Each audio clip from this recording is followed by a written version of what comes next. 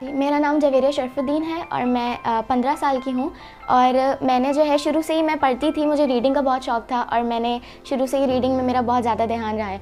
तो उसमें मैंने बुक्स पढ़ी हैं तो मुझे जो है बहुत ज़्यादा शौक़ होता था कि काश मैं भी कभी लिख लूँ। लेकिन फिर मैट्रिक में आके मुझे रियलाइज़ हुआ कि मैं वाकई लिख सकती हूँ और मुझमें ये कैलिबर है कि मैं पोइट्री भी कर सकती हूँ और वो भी इंग्लिश में, क्योंकि मेरी इंग्लिश पर कमांड थी। मैं उर्दू पोइट्री भी पढ़ती हूँ, लेकिन इंग्लिश में मेरी कमांड थी तो इसलिए मैंने इंग्लिश पोइट्री चूज़ की।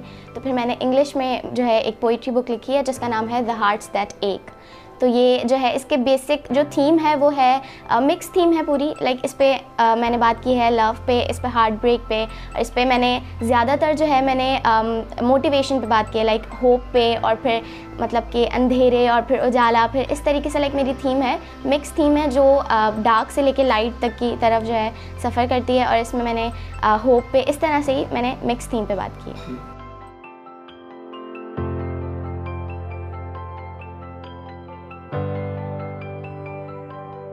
मेरी बुक अप्रैल में पब्लिश हुई थी 2021 में। और अल्हम्दुलिल्लाह, मुझे इतनी उम्मीद नहीं थी, लेकिन लोगों का बहुत बहुत अच्छा रिस्पांस आया। मतलब कि इतना अच्छा कि मुझे यकीन नहीं हो रहा था कि मैंने ही लिखी है।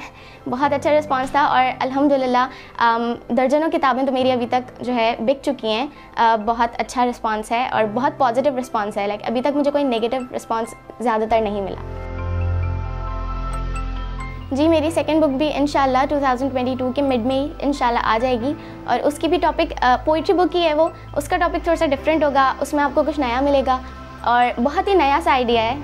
तो उसमें मैंने टॉपिक्स पे बात की है तो वो भी जो है इन आपको बहुत पसंद आए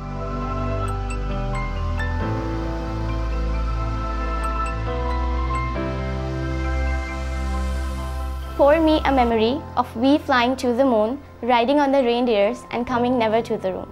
pour me a memory of tears welling up in my eyes and you rubbing rough pads of your thumbs onto my cheeks and muttering lies. Pour me a memory of pain instilled and mused ache, and I'll sip it continuously until it ends or I break.